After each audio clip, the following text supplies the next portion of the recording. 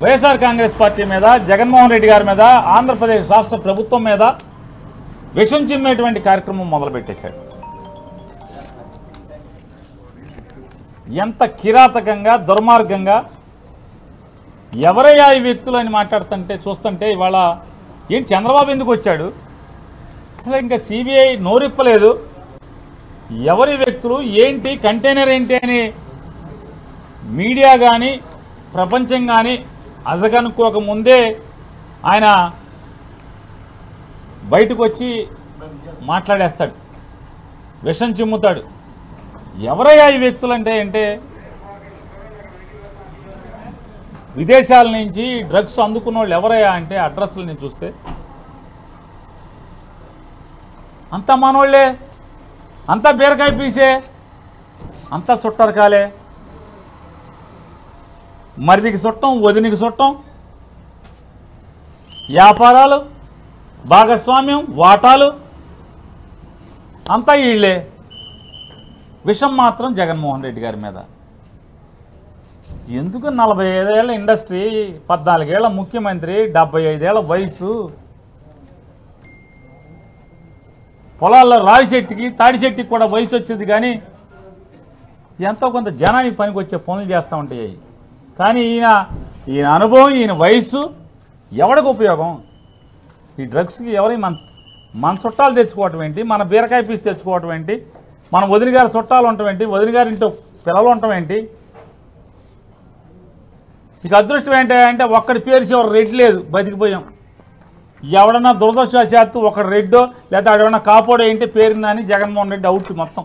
ఈనాడు జ్యోతి. అసలు మీ చుట్టాలు దొరికితేనే మామూలుగా మీ చుట్టాలు డ్రగ్స్ తెప్పించారంటేనే జగన్మోహన్ రెడ్డి తెప్పించారనే విషయం చెబుతూ అంటే అందుకోసమే ఎలక్షన్ కమిషన్ గారిని కలిశాం. అయా దీన్ని లోతుగా విచారణ చేయాలి. తెలుగుదేశం పార్టీ మాకు భయాలు అనుమానాలు ఉన్నాయి. ఈ రాష్ట్ర ప్రజలకి వైఎస్ఆర్ కాంగ్రెస్ పార్టీకి ఆందోళనలుగా ఉన్నాయి. బ్రాందీ పంచేటువంటి స్థాయి నుంచి దాటి ఈ రాష్ట్రంలో ఓటు కోసం డ్రగ్స్ ఏమన్నా పంచిపెడతాకి తెచ్చాడా చంద్రబాబు? ఆయన కొడుకు. ఒక్కసారి లోతుగా దీన్ని విచారణ చేయించి త్వరితగైతేనా దీన్ని కట్టండి అరకెట్టండి. ఈ ఓడ వెనకాల మరింకో ఓడ కానీ మరొక మార్గంలో కానీ తెచ్చేటువంటి ప్రయత్నాలు చేసేటువంటి అవకాశాలు మెండుగా ఉన్నాయి. ఎందుకంటే ఇతను తిరిగేదంతా చేసిన సావాసాలన్నీ కూడా దొంగలు దొంగలతోనే. ఐదేళ్ళు ముఖ్యమంత్రిగా ఉన్నప్పుడు ఇట్లాగే సింగపూర్ నుంచి ఒక దొంగను తెచ్చి మొత్తం రాత మర్యాదలు చేసి ప్రభుత్వాన్ని అప్పజెప్పేశాడు. కొత్త అల్లుడిలాగా మర్యాదలు చేసేవాడు. అతన్ని అడ్డం పెట్టి ఇవాళ అదే సింగపూర్ మంత్రి జైల్లో ఉన్నాడు. పాపాలు చేశాడు. దోచాడు సింగపూర్ని అని చెప్పని తప్పుడు వ్యాపారాలు చేశాడని చెప్పని లంచాలు తీసుకున్నాడని చెప్పని.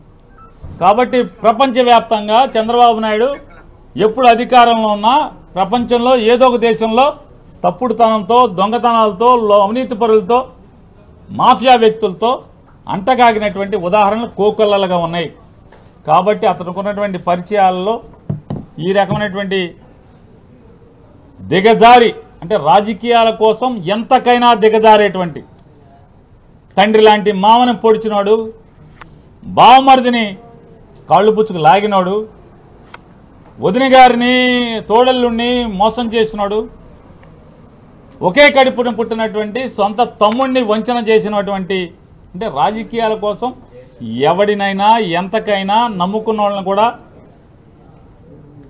ఏ రకంగా దిగజార్చి ప్రవర్తిస్తాడో మనకు ఉదాహరణలు ఉన్నాయి కాబట్టి ఖచ్చితంగా దీని మీద లోతైన విచారణ చేయాలి. భయంతో ఓవరాల్గా చెప్పాలంటే ఎన్ని ఎదవేషాలు వేయటానికైనా ఎన్ని ఎదవ పనులు చేయడానికైనా కూడా రెడీ అయిపోతున్నాడు. అంటే ఎలాగో ఓడిపోతామని భయం వేసి ఎలాగైనా గెలవాలి మళ్ళీ ఎలాగైనా రాష్ట్రాన్ని ఇప్పుడు నాశనం అయినట్టుగా కాకుండా ఇంకా నాశనం చేసేయాలి ఇంకా ఈ రాష్ట్ర ప్రజల భవిష్యత్తుని నాశనం చేసేయాలనే దృఢ సంకల్పంతో ఈరోజు ఎన్ని అంటే దాన్ని ఏమంటారు దిగజారుడు రాజకీయాలు చేయడానికైనా సిద్ధపడడం చూస్తూ ఉంటే నిజంగా ఒక పక్క నవ్వు వస్తుంది ఒక పక్క ఇలాంటి వాడిన ఐదు సంవత్సరాలు ఈ రాష్ట్రం భరి భరించింది ఇంకో రెండు నెలలు భరిస్తుంది అని అనుకోవడానికి కూడా ఒక ఇబ్బందిగానే అనిపించింది. నిన్ననే మనం చూసాం. ఎప్పుడు కూడా మనం సాధారణంగా ఆలోచించుకుంటే టీడీపీ హయాంలో ఈజ్ ఆఫ్ డూయింగ్ బిజినెస్లో ఈజ్ ఆఫ్ డూయింగ్లో నెంబర్ వన్ స్థానం ఆంధ్రప్రదేశ్ అని చెప్పి.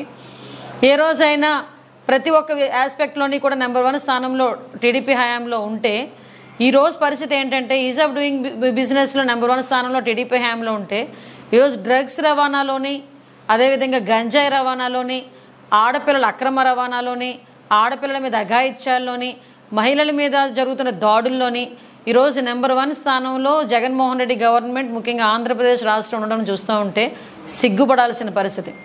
ఎందుకంటే నిన్ననే మనం చూసాం ఆంధ్ర మన విశాఖపట్నంలో పోర్ట్లోని బ్రెజిల్ నుంచి దిగుమతి అయిన సుమారుగా ఇరవై ఐదు వేల కిలోల డ్రగ్స్ అది సిబిఐకి పట్టుబడ్డాయి. ఆ సిబిఐ వాళ్ళ దగ్గర నుంచి అది వాళ్ళంత దగ్గరికి వెళ్ళకుండా కూడా వైసీపీ నాయకులు ఎంతమంది ఎన్ని రకాలుగా ప్రయత్నాలు చేశారో మనందరం కూడా నేను చూసాం. అది కూడా ఏంటంటే కంటైనర్ ఎవరికి సంబంధించిందంటే వైసీపీ నేత కూనం వీరభద్రరావుకి సంబంధించిన సంధ్యా ఆక్వా కంపెనీకి సంబంధించిన డ్రగ్స్ ఆ కంపెనీ నుంచి అది ఆర్డర్ ఉన్న దిగుమతి చేసుకుంది. అట్ ద సేమ్ టైం ఈ వీరభద్రరావు ఉన్న వ్యక్తి ఎవరంటే ప్రకాశం జిల్లా నాగులుప్పాడు మండలం వైసీపీ సీనియర్ నేత. అతను విజయసాయిరెడ్డి గారికి అతి సన్నిహితుడు. ఇలాంటి వాళ్ళందరూ కూడా అంటే ఎలక్షన్ మూమెంట్లో మద్యం వై- మద్యంతోని గంజాయితోని డ్రగ్స్తోని కూడా ఓటర్లను ప్రలోభపెట్టి ఓవరాల్గా చెప్పాలంటే వాళ్ళు తిరిగి అధికారం చేజిక్కించుకోవడానికి దిగజారు రాజకీయాలు చేస్తున్నారని చెప్పడానికి ఇది ఒక ఉదాహరణగా భావించవచ్చు అంటే ఇప్పుడు మనం అనుకోవచ్చు యాక్చువల్గా ఈ కంటైనర్ ఓపెన్ చేయకుండా మన రాష్ట్ర అధికారులు సిబిఐకి ఎందుకు అడ్డుపడ్డారు నిన్న? మీకే మీకు సంబంధం లేకపోతే ఎందుకు అడ్డుపడాల్సిన అవసరం ఏమొచ్చింది? అది ఒక ప్రశ్న. ఇంకోటి ఏంటంటే అసలు ఒక ప్రాంతీయ పార్టీకి సంబంధించిన ఓ ఎంపీకి బ్రెజిల్ అధ్యక్షుడు ప్రెసిడెంట్ లులాడ్కి శుభాకాంక్షలు తెలియజేసిన అధ్యక్షుడిగా ఎన్నికైన వెంటనే శుభాకాంక్షలు తెలియజేయాల్సిన అవసరమే వచ్చింది విజయసాయిరెడ్డి గారు అతను కరెక్ట్గా విజయసాయిరెడ్డి గారు రెండేళ్ళ క్రితం బ్రెజిల్ అధ్యక్షునిగా ఎన్నికైన ప్రెసిడెంట్ లులార్డ్ సిల్వాకి శుభాకాంక్షలు కూడా తెలియజేశాడు. అంటే బ్రెజిల్కి ఇక్కడ విజయసాయిరెడ్డికి ఇక్కడ బ్రెజిల్కి ఇక్కడ ఉన్న వైసీపీ నాయకులకి మధ్యలో ఏంటి అంత సత్సంబంధాలు ఏంటి అంటే ఇప్పుడు విషయం ఏంటంటే కొన్ని వేల కిలోల సంబంధించిన లక్- కొన్ని వేల కిలోలు ఈరోజు గంజాయి పట్టుబడతా ఉంటే దాని గురించి మాట్లాడండిరా అంటే దాని గురించి మాట్లాడరు. అసలు దాని గురించి ఎక్స్ప్లెనేషన్ ఇవ్వాల్సిన అవసరం ఈరోజు ముఖ్యమంత్రికి ఉంది. కనీసం ముఖ్యమంత్రి దాని గురించి ఎవరు కూడా మాట్లాడే పరిస్థితులు ఈరోజు కనిపించట్లేదు. ఎందుకంటే వాళ్ళు ఇన్వాల్వ్ అయింది కూడా ఆల్మోస్ట్ ఆల్ అందరూ కూడా వైసీపీ నాయకులే. కాకపోతే వీళ్ళకి ఒక పాంప్లెట్ ఛానల్ ఒకటి ఉంది.